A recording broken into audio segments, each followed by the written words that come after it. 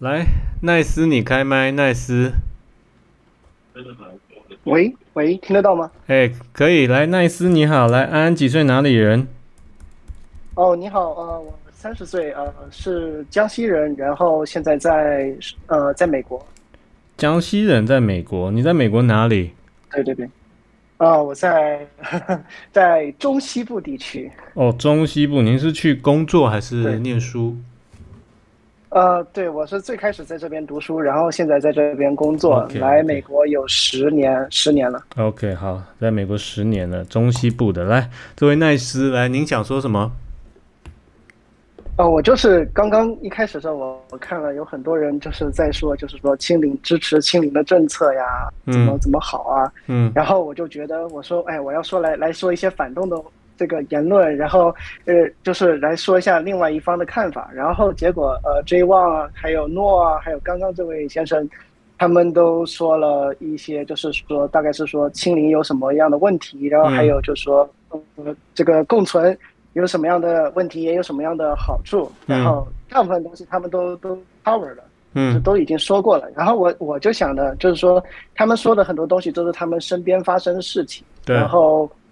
比较的比较的微观，然后我就想提供几个就是，呃，数据点吧，就是一些最近的一些出来的一些数据，嗯，然后想分享一下，就是，嗯，比如说，嗯，我们的这个就是 PMI 三月份的 PMI，中国的 PMI 经理人消费信心指数，那个消费消费者什么什么那个全名叫什么？消费者经理人。什么经理人？不是，它是一个经理人的那个，大概是经理人采购指数吧。OK OK，经理人它是相当于是说，对百分之五十，它是一个枯荣枯荣线，就是说百分之五十以上代表你们的这个制造业是比较呃兴盛的，百分之五十以下是比较差的。嗯。然后上个月我记得三月份它刚出来数据是百分之九四十九点五还是多少？嗯，那是官方出的，还有一个财新出的呃。同样的 PMI 指数是百分之四十八点一吧，嗯，也就是说，就是说在三月份的时候，其实就是说采购的这个这个这个这个已经渐陷入这个衰退了，嗯，也就是说这个商这个这些工厂已经它采购的东西它已经慢慢减少了，减少采购量了，说明订单没有那么多，嗯哼，然后还有一些数据的话，就比如说我们看呃，就是法拍房，法拍房是什么？就是你当你还不起房贷的时候。你的房子就会被呃银行收回去，嗯，然后收回去以后的话，他就会把这个东西拿到，比如说阿里巴巴的，它有一个平台，就专门卖这法拍房。法拍，法拍比例高了。得最新得到的一个数据，我看到的是二零二七二零一七年的是九千多套，嗯，现在在二零二一年的话是有一百六十八万套，翻了一百八十七倍，差那么多？对。也就是说，很多人已经还不起房贷了。你说去年是不是二零二一年？不是二二零一七年的是九千多套，二零二一年是一一百六十八万。对对对，我说就比去年嘛，比比二二零二二二零二零一七比去年，那有没有二零二零比二零二一的，或二零一九？这个。这个数据好像我没怎么看到，我我可以去查，但是我最近没有没有查到。好，好，没有关系。但是这个这个二零一七到二零二一的这个差距的确是非常大了，哦，真的是太夸张了。对，就已经，呃，所以说就是说明，就是说，呃，说白了就是老百姓的口袋里面没有钱了。嗯，没有钱了的话，他就还还不起房贷。对对，那他就只能断供。对，那还有一个就是说，还有一个就是说，还有一个指数，呃，我想说的就是 PPI 和 CPI 的剪刀差。嗯，就是说最近几个月的这个这个 PPI 大概都保持您您您用中文解释一下好不好？我怕网友听不懂，PPI 包括我个人。PPI 就是工业品出厂价格指数，就是指说，比如说我制造这个东西，我在出厂的时候，我的我的成本大概是多少？嗯，然后然后呢，CPI 就是指就是呃居民消费价格指数，就是说我在。这个比如说超市里面买到这个东西的价格是多少？OK OK OK。那假如假如它现在的这个平均的比例，我看前上六前面六个月啊，大概都保持在了大概百分之十左右。嗯，也就是说它的成本每个月都要大概增加百分之十的样子。嗯，就是环同比。嗯，那也但是我们的 CPI 呢？如果我们看我们的 CPI 呢，只有大概百分之一左右。也就是说我们的这个通胀只有百分之一。也就是说，我们最后在在在超市里面买到的价格，只涨了百分之一。那这个东西代表什么呢？就是说我这个成本是越来越多了，但是我不敢涨价。哦，那这个中间的剪刀差，中间的剪刀差，那谁来承受呢？就是制制造中间的。不，反正就中间的所有人，所有人来承受这个这个这个损失啊，就是这样，相对损失，嗯嗯，对，这个这个压力就会变得越来越大，越来越大，直到有一天他们就会开始说，那我们涨价吧，那我们那你的你买到的东西就会越来越贵，越来越贵，嗯，这个东西就是美国现在正在发生的事情，基本上，他最后把所有的通胀的这些东，呃，从成本，呃，它的原材料传递到它的呃，就是最后的产品，嗯，端。这个这个这个成本的话，就会变得，就是你的通胀就不会再考想想象会有百分之一了。嗯，但是呃，我们再看我们再看这几个月，我们的这个因为封城产产生的一些东西，也产生产生了一些呃宏观的影响。我们站在一个国呃一个国际的投资者的角度来看这个问题，那假如说我要投资一个在一个国家投资的话。我希望这个国家的这个呃政局是稳定的，嗯，经济是繁荣的，对，然后劳动力成本是低廉的，嗯，呃，还有我的这个各种各样的大环境都要是稳定的，嗯。但是现在中国的问题在于说，很多城市他们的执政者，呃，不是特别敢于就是说承担一定的政治，呃，政治成本，这呃，他们特别，假如说有一个很很多城市都是，比如说我们那边呃，江西有一个地方叫婺源。嗯，他们前几天有一个确诊者，嗯，然后整个城市就封掉了，嗯。那如果我是一个投资者的话，我会愿意，不管是国外的还是国内的呢，我会愿意去婺源投资吗？我肯定是不敢的。我不知道，假如说我今天去投资的话，我这厂房建到一半，我会不会哎，他就跟我说暂停，你要一个月以后你再来重新建，没错。那我是这个这个风险，一个月的这个对，太大了。嗯，这个东西就是宏观上面的。当这种呃这种啊连锁反应，疫情产生的连锁反应产生的影响，我发现很多人都没有去考虑到呃，或者说可能就是忽略了这样的成本。那有一些人，您您讲的我呼应前面那一个，他是做教培业的啊，他他因为一个他他们那边因为有一个阳性的，所以又往后延了两个礼拜开工嘛。那所以就是导致，假如我还没有入这一行的，我就会评估这个。这个风险就哇，那现在我就我就不要这样投资，就就在大概这个意思啊，一样是这个意思啊。好，嗯嗯，好，来，所以说，所以说，对我我呼应你的话，就是说，那我不仅仅是进入这一行，我现在就变成了我进入中国，我我我要要不要在国内投资？那假如说我是一个国际的这个一个贸易商的话。哦，现在我的越南我已经开放了，泰国已经开放了，东南亚国家都开放了，那我要不要换到那些国家去？对，没错。呃，这个事情实际上已经在发生了，就是前一段时间香港在封锁的时候，嗯，我我们已经发现有一些，比如说花旗银行，比如说一些银银行的一些大佬，就是那些呃资深的副总裁，还有呃那些人，他们都已经从香港转到了呃新加坡去工作。嗯，因为他们无法承担，就是说隔离，还有就是说这种这种封城带来的成本，对他们不愿意负担这样的，所以他们决决定转移到新加坡去。那同样的，那你会看到可能有很多资本会转移出中国，去可能东南亚国家，就是环境相对更宽松一点的国家。对，这样子的。这样子的压力会传导到传导到我们的居民身上，也就是说，我们的收入会减少。我们会有我们中国有一个呃呃很有名的词叫做“供体时间”嘛，嗯嗯，然后就会说哦，我们这个呃这个这个现在我们已经拿不出很多钱来了，你能不能降点薪？嗯，我们的话我不裁你，但是你降薪可不可以？对，或者说你休息几个月，我你我几几个月以后我们财政状况更好一点后再来。是那。一边那那会传递到消费者的手里面是什么呢？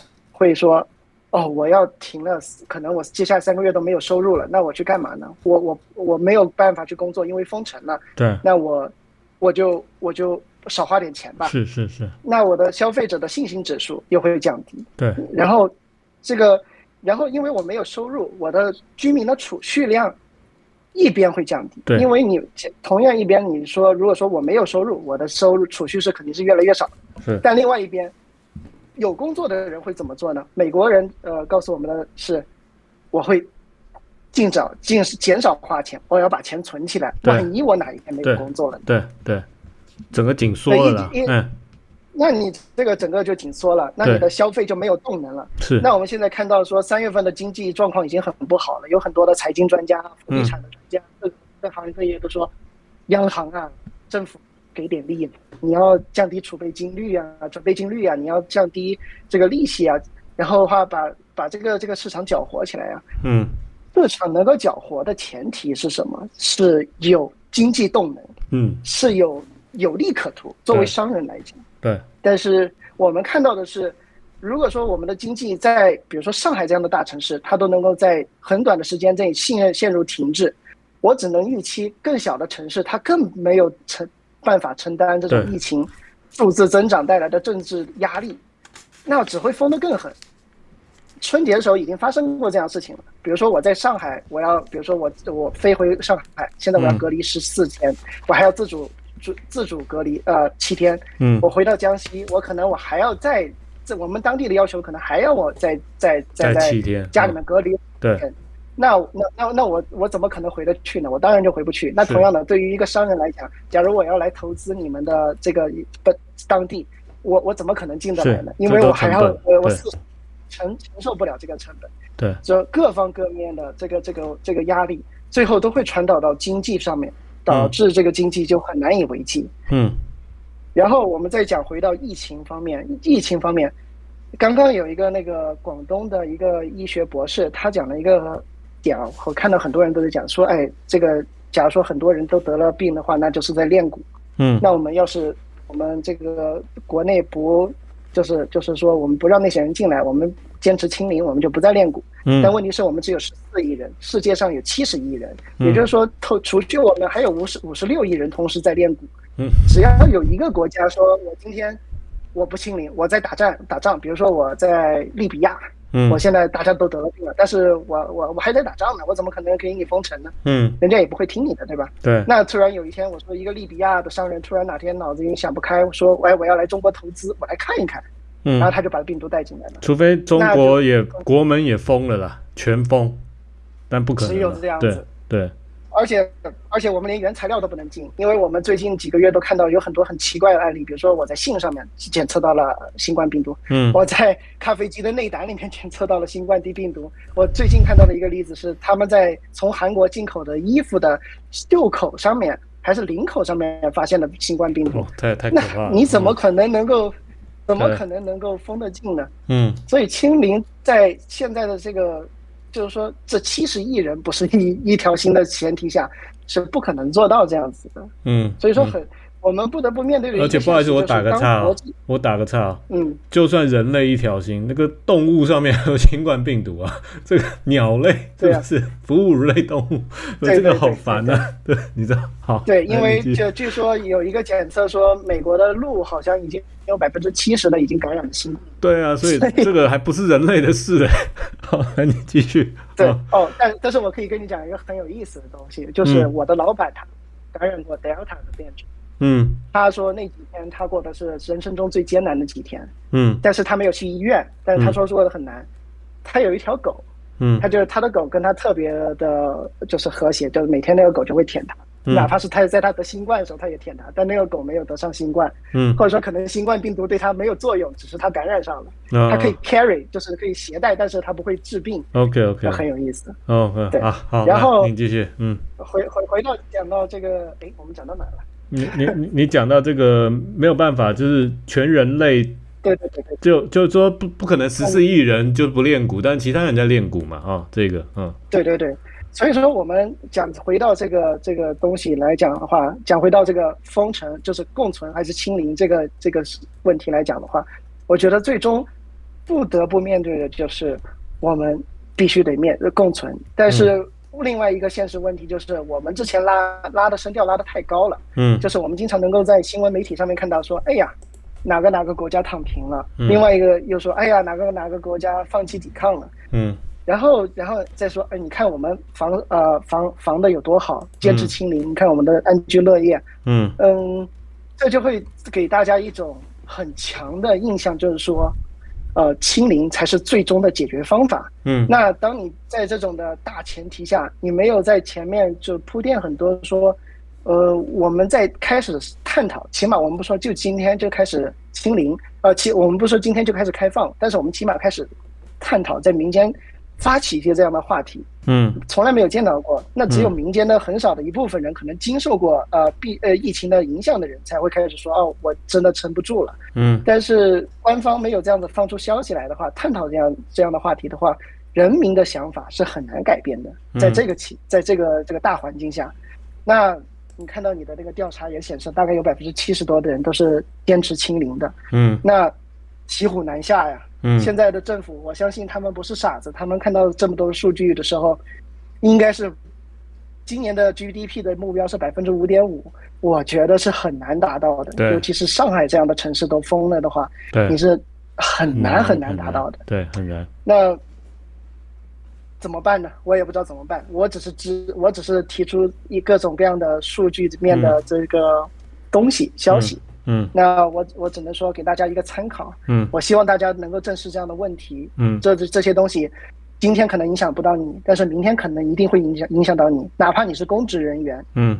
去年中国呃中央政府向地方的转移支付达九万亿，九万亿是什么概念？也就是说，为什么要转移支付呢？就是说地方没有钱了。嗯，地方没有钱了才会要转移支付嘛。嗯，呃。那没有，那最后一天有一天就会变成什么呢？那我们就要不就裁公务员吧，要么我们就降薪吧。嗯，也就是说，有有国内的有的人说的所谓戏谑的说的防疫爱好者，指那些在防疫里面可能一定程度受力，或者是说没有受到影响的人，最终都会受到影响，因为经济的大环境不好，它不仅影响的是一嗯一个人，雪崩的面前没有一片雪花是无辜的。嗯，迟早会影响他。大概只是说。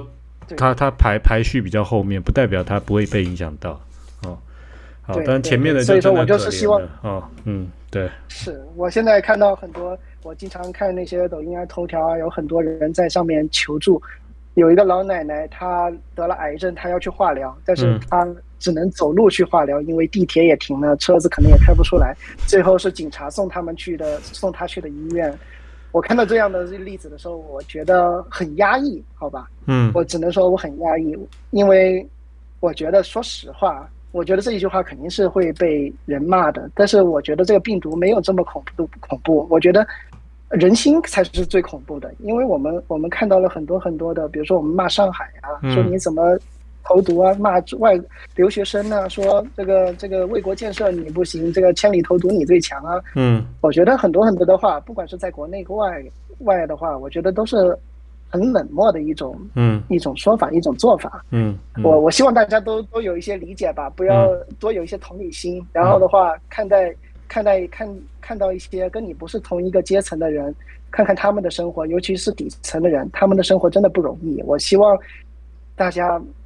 不要光为自己着想，然后最最最后最后，我就我就想说一个事情，就是他们不是有人说，经常说老人怎么怎么样吗？你们家的老人感染了，怎么怎么样？你们家的老人到时候全都死掉了，你你你到时候就会哭了，是吗？嗯，我觉得这个东西，我自己在美国的感受是，这个病毒确实没有感染力很强，但是它的那个对就是致死性确实不强，但对于大部分的。最后致死的人，呃，多多少少都有一些，就是说慢性病、基础病，嗯，基础病，对对对，对。然后我看了最近的那个美国的前最近三年的死亡数据，二零一九年到二零二零年的话，相比二零二零年的死亡的人数大概多了四十万，嗯，差不多就是新冠大概那一年死的人数，嗯，但是到。二零如果说对比二零一九年和二零二一年的呃，就是说整体的死亡人数的话，呃是持平的，基本上是大概维持在百分之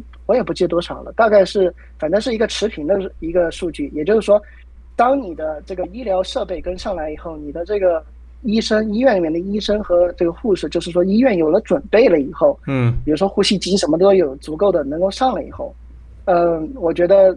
而且我们要建立一个，就是说只有重症的说才是真的需要进医院的这种观念的时候，而不是说所有人都去挤兑医疗资源的这个观念的时候，我觉得可能那才是我们能够呃开放的时候。但我希望那一天会越来越早吧。我觉得拖一天真的是，嗯，每一天都是一都会增加更多的问题，越拖就是了解了就越出。就是现在如果这种。